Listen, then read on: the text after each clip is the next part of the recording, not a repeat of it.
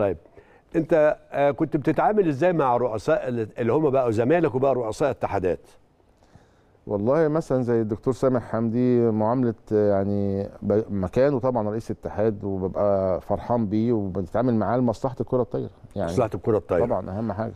لأن مصلحة الكرة الطايرة هي هي بالنسبة لي أنا كدعم لصديقي أو لزميلي اللي مسك المكان دوت أنا عايزه يبقى ناجح. طبعا. فبساعده بكل الوسائل اللي ممكن أقدر أعملها معاه. يعني لو كان طلب حاجة تيجي على مصلحة النادي الأهلي بتعملها عشان خاطر المنتخب؟ لا لا مصلحة. النادي الأهلي لا. ما ينفعش. لا لا لا ما ينفعش. آخر مرة كلمته إمتى؟ امبارح. امبارح؟ طب إحنا معانا الدكتور سامح حمدي أخو الكابتن حسن حمدي رئيس الاتحاد المصري لكرة الطايرة السابق. تعال نشوف هيقول لك إيه ونرجع تاني. اتفضل. الحقيقة أنا عايز آه، أتكلم مع كابتن إبراهيم لأن عشت معاه فترة طويلة جدا. كانت أول علاقتنا طبعا في النادي الأهلي وبعدين لما كنت أنا في شركة سيد للأدوية آه، طلبوا منا إن أنا نكون فريق كرة طايره عشان نلعب بيه دوري الشركات والحمد لله عملنا فريق قوي وعملنا نتائج كويسة جدا. آه، وبعد كده بقى علاقتي كانت بيه في الكره الطايره طبعا آه، وسعت قوي لأن طبعا آه، أنا مسكت سنة آه، 1995 جهاز الكرة الطايرة آه، بالنادي الأهلي مدير إداري والكابتن إبراهيم كان مدير فني.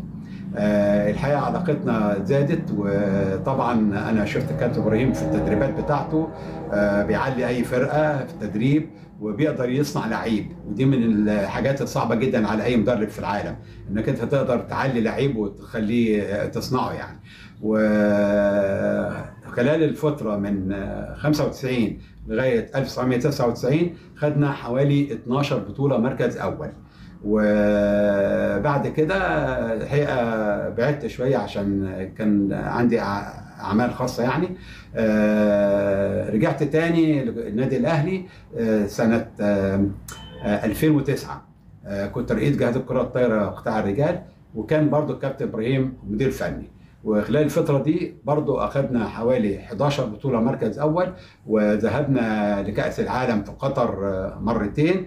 والحقيقة كابتن إبراهيم آه، يعني عنده القدرة إنه يعلي مستوى الفرقة وبالذات يقدر بالذات يقدر يصنع لعيب آه، ويخليه من من أبطال الكرة الطايرة في مصر.